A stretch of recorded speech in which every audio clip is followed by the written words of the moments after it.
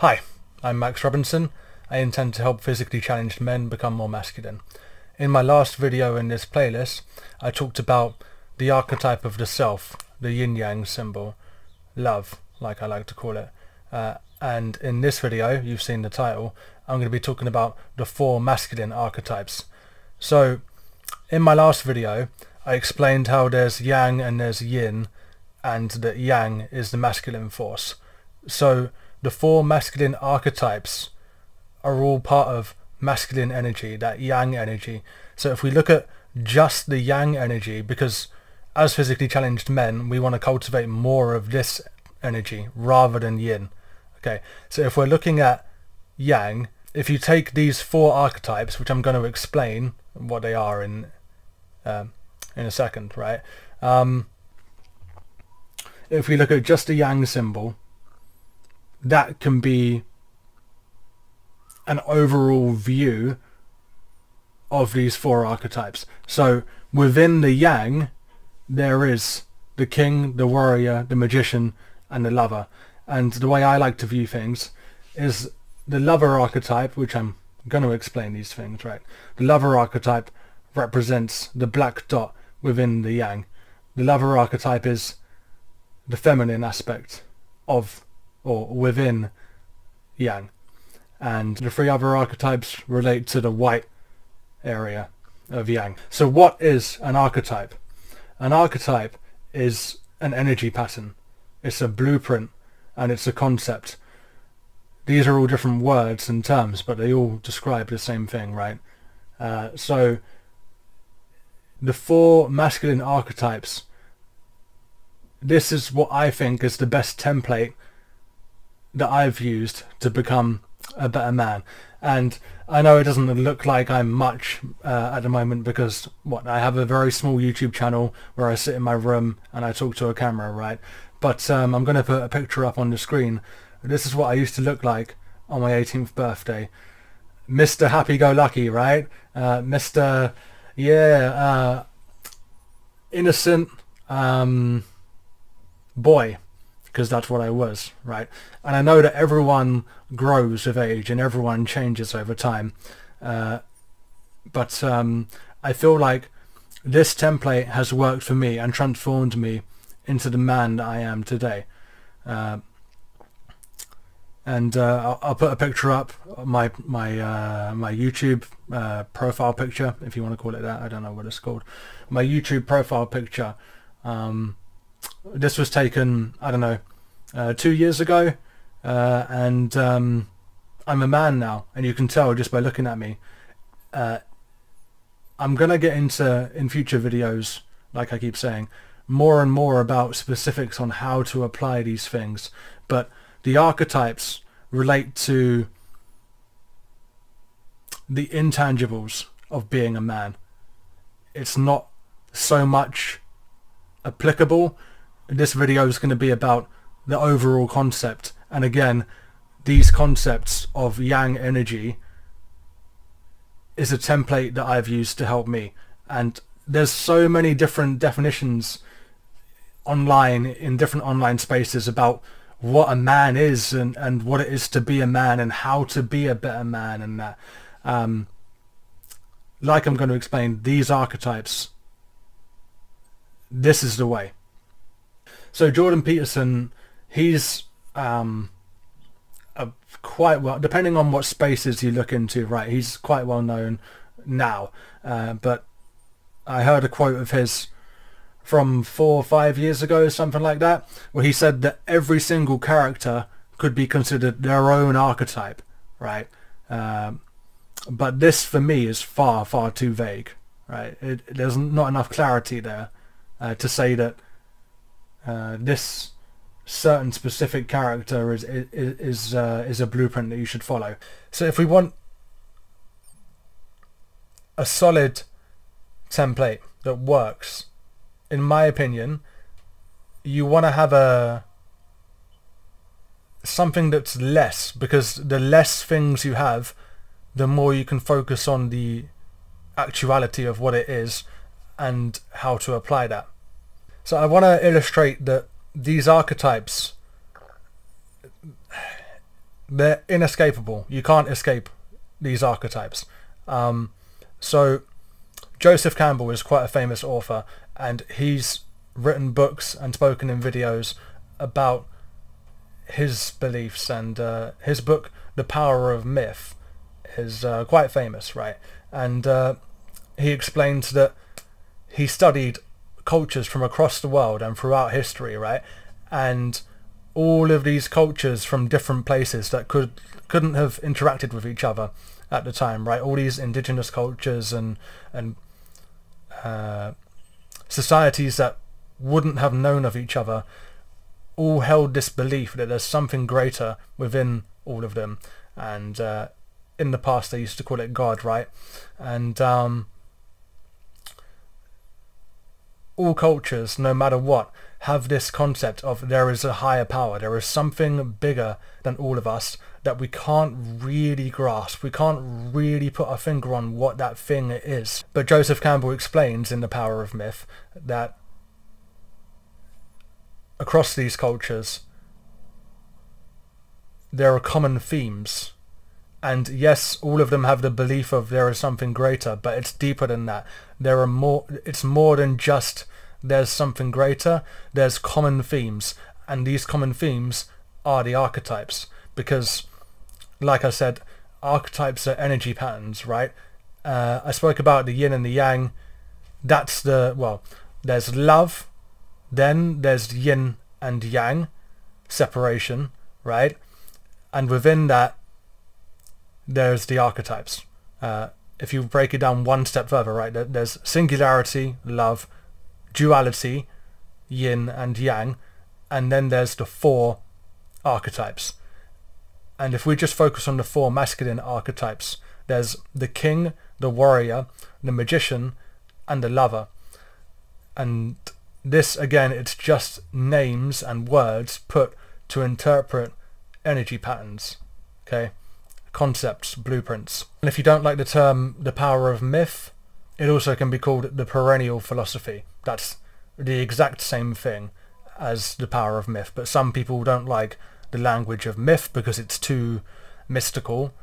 If you like um, more material, or if you think in a more materialistic way, you can say the perennial philosophy. An overall concept that shows that throughout humankind, there's something greater within us. It's more specific than just yin or yang. So when I first heard about the king, warrior, magician and lover, I first heard about it from Elliott Hulse. He's a YouTuber that I used to watch 10, 15 years ago, let's say, a long time ago, right? Um, and he recommended this book. And I've had this book for such a long time now. Uh, I'm just going to make sure that you can see that on my on my camera. Yeah, yeah, okay, right, so it's backwards, because, yeah. This book here, King Warrior, Magician Lover. Um, this is like a, a brief overview of the archetypes, and uh, they focus on Carl Jung's work. Carl Jung was a psychologist and a philosophist. Uh, and in this book, they state that Carl Jung says that if you don't make yourself aware of these four archetypes, they'll manifest in your life unconsciously. If you don't become aware of these energy patterns,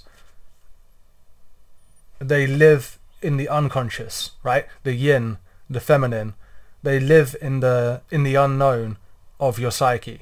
Uh, if you don't bring light to them, right? If you don't make yourself aware of them.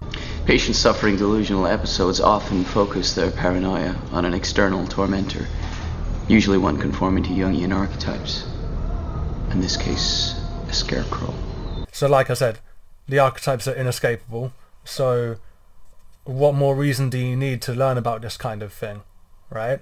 So in the description, I'm going to put a bunch of links to um, different people describing the archetypes in different ways quadrant of our kingdom. Don't get caught up with terms. Even king, warrior, magician and lover, they're just terms to describe these energy patterns, right? So like I said, check out my description for a bunch of different resources on on this subject. after I looked into this book, King Warrior Magician Lover, I continued to watch Elliott Hulse for a, a while, and um, ten years ago, uh, Elliott Hulse made a video with his mentor at the time, Paul Chek, and um, they had eventually it turns out they had different belief systems, so they grew apart. But Paul Chek is um, I value his opinion very highly. I would say he's a good king, a good person to listen to.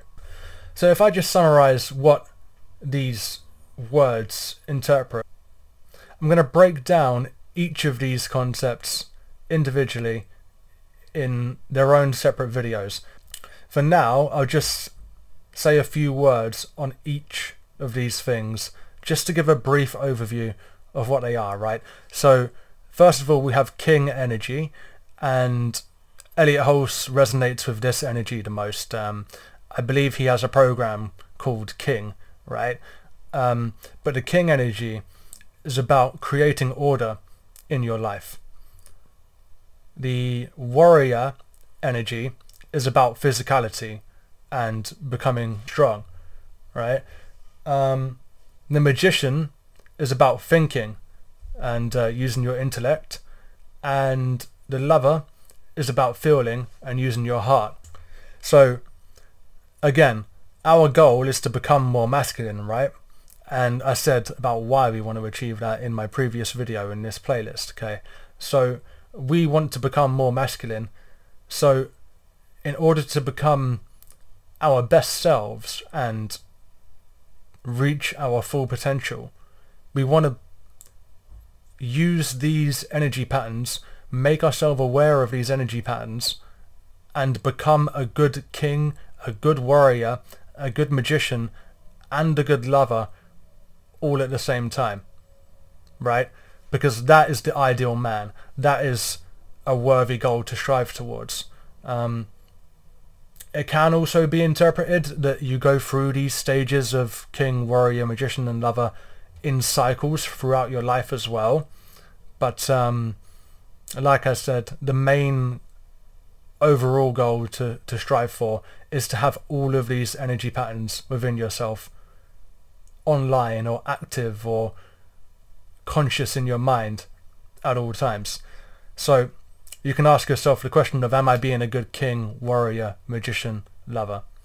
And one of my favorite books uh, that goes quite deep, more deep than the the King Warrior Magician Lover book, is this book here. wrong way, this way. Right. Uh, Awakening the Master Masculine by Yao. I don't know how to pronounce his um, his uh, middle name. Namake Morris. Uh, he goes by Master Yao, right? He has a YouTube channel. Um, and uh, this book is so much more in depth than than the King, Warrior, Magician, and Lover. The terms that he uses is the house of the man. That's if we look at the Yang energy, he calls he breaks down the Yang energy as the house of the man, and he talks about the archetypes. He calls them the hunter, the warrior, the eagle, and what's the last one he uses? The healer, right? So it doesn't matter what terms you put to these things, or it doesn't matter if you don't believe in them or not. These things are inescapable, and um, again, like I said before, all the more reason to learn about it. Like different types of people like different things, right? So um, I've also read this book, uh, Jack Donovan. Got to get used to putting it the right way. Right, The Way of Men by Jack Donovan. And in this, he talks about, if I can just get out.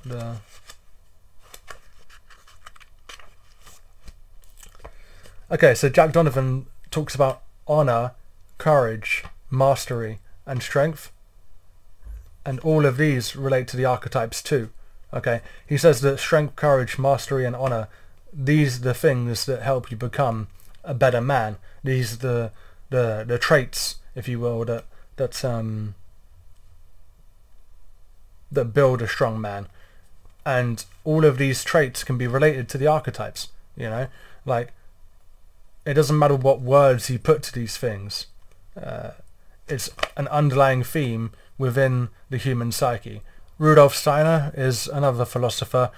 Paul Chek talks about Rudolf Steiner a lot, and uh, Steiner uses the terms being, thinking, feeling, and willing. Steiner said that if you take Jesus as the example of the perfect man or the divine man, Steiner said that Jesus uh, has three beings within him. So Jesus is king energy in this analogy, right? Jesus is king energy and he has the beings of thinking, feeling and willing within him. So that's Jesus being the king archetype and then also having the lover, the magician and the warrior within him. So to become the divine man, that's just another example of uh, phrases you can use to, to, to explain what I'm explaining. If I was to use my terms, I would say instead of the king, I would say the leader. And I'm going to get into more detail about these phrases in the next video. Okay, so I would use, instead of the king, I would use the leader. Instead of the warrior, I would use the champion. Instead of the magician, I would use the strategist. And instead of the lover, I would use the artist. So another point to emphasize these archetypes. Uh, you see in, in movies and uh, in documentaries, let's say, uh, people in past times, like the Romans, they had the gods, right? And the Greeks had the Greek gods. Again, th- this is just humans trying to put words to describe something that they can't fully grasp, right? And the archetypes are the things that they're trying to understand. I believe for the, the Roman gods and the Greek gods and mythological characters are just interpretations of these archetypes, of these energy patterns. And equally, I would say that characters are also personifications of the archetypes. Characters are like the the idealized versions of what we can strive to be. They're conduits for the energy, right? So the energy patterns are, are these concepts, are these archetypes, right? And if we look at gods or characters or men in the world that you aspire to be like even, right? They embody this energy more so than an average man. I am above average.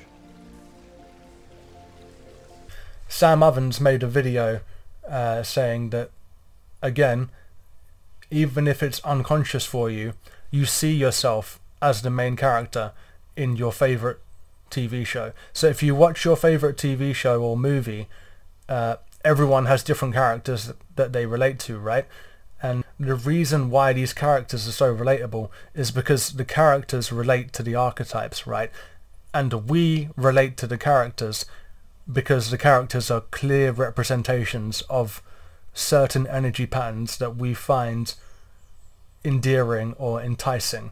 Uh, so this can give you good insight into yourself, right? If you ask yourself, who is my favorite character and what does that say about you? right? So for me, my favorite character is Spartacus from the TV show Spartacus, which came out 10, 15 years ago, right? Spartacus is like the ultimate warrior energy, in my opinion. Uh, but also he has traits of being a good king and a good lover and a good magician also, definitely. But when you're a physically challenged man, you have to constantly go through adversity, right? and Spartacus is that man that is always pushing and striving and going through adverse situations and winning despite the odds. And uh, for me, that's relatable. So ask yourself, who's my favorite character? What does that say about me? And another thing to to think about is if you resonate more so with an evil character, ask yourself, what does that say about you? I'm not saying that you're evil. No one is truly evil. I don't believe that, right? But um, it shows you that it gives you perspective on where you're at in life. An example from my life is um, when Kingdom Hearts 3 came out, a video game that I played three, four years ago, let's say, before Kingdom Hearts came out, I played the entire series, right? I uh, before I was into reading all kinds of different books, right? Before I started really being properly aligned with who I want to become, before I started just reading books and meditating and all of these practices that I'm going to talk about more in, in later videos, I used to play a lot of video games, wasting my time, to be honest. And uh, I'll, again, I'll get talk about that in later later videos too. Um, so I used to play video games non-stop because I didn't um, I wasn't any wiser, right? It's like, oh, I have all the time in the world, I can't work because of my pain, I'm just going to play video games. So I played the entire Kingdom Hearts series back to back to back. So I got the whole story, right? And uh, when Kingdom Hearts 3 came out, I wanted the main bad guy to win. And uh, the main bad guy in Kingdom Hearts is Xehanort. And he is literally the personification of darkness. He is darkness. And uh, again, it just goes to show where I was at in my life. And because I wanted Xehanort to win as as weird as that sounds, right? I was like, oh fuck Sora, Sora's a little bitch, right? Oh, friendship, the power of friendship. Like, nah, man, that's some pussy shit. You know, that's how I was thinking. So I want that that king energy, that that um, tyrant energy. Xehanort is the unconscious king. Xehanort is he's darkness, he's evil unconscious, feminine, yin. He's the the polar opposite of a good king, which is a tyrant. Xehanort is a tyrant, and that's where I was also in my life. I was a tyrant to myself because I was smoking a lot of weed, drinking a lot of coffee, watching a lot of porn, playing a lot of video games, watching a lot of football, pointless stuff I was, it's self-sabotage, really, you know. That's what I was doing to myself. And um, I was, uh, I wasn't in a good place. And the character and my relation to the character, when I look back now that I know about these concepts, I have the insight to say, okay, this relates to why I was being like this. I liked this character because I shared traits within myself that were unconscious that this character had because this character relates to the energy patterns, the archetypes, right? I hope that you're following with these these uh, explanations that I'm giving you. So another good question to ask yourself is, what does the media that you're consuming, what's the message of it? What is it implying? What is this media telling you? What story is the media telling you? Because really and truly, to in order to understand things, the one of the best ways is stories. Stories are all there really is at the end of the day. Your life as a man, or well, my channel was for the men, right? Physically challenged men. That's my audience that I intend to help. Um, and as a man, you have the ability to create your own story. The stories, the common narrative uh, that the the the media portray. You know, it's it's a it's a well-known saying that bad news sells, right? Bad headlines get much, much, much more attention than good headlines, and whether you watch if you watch the news or listen to the radio and you're not consciously choosing what station you're listening to 90% of it is probably negative. and also 90% of it you don't need to know about. Like, I'm, um, I might be seen as being like crazy or weird, right? You're crazy. I'm not.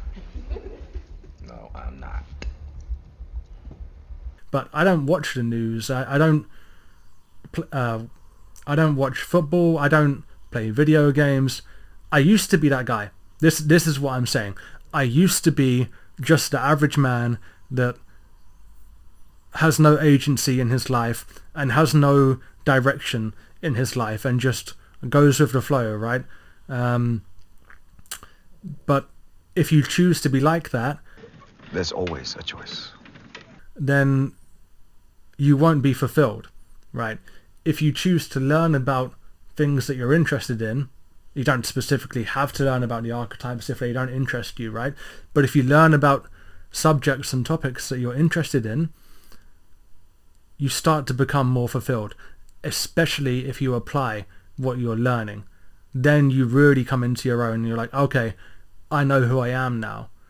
This is, I'm in a good place and I can help people. So like I said, in my next few videos in this playlist, there's going to be four of them of course, in my next four videos in the playlist, I'm going to be breaking down each archetype individually and explaining more about what the energy pattern represents. So if you like the video, hit like, hit subscribe. And always remember, Life is good, but it can be better.